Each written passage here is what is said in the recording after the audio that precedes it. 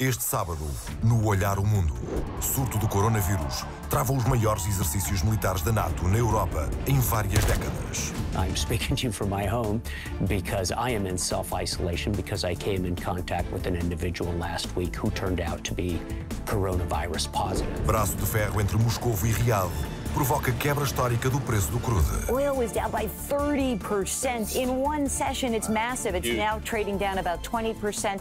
This has a knock-on effect all over the globe. São os destaques do Olhar o Mundo desta semana, onde Felipe Pate Duarte é o convidado de António Mateus.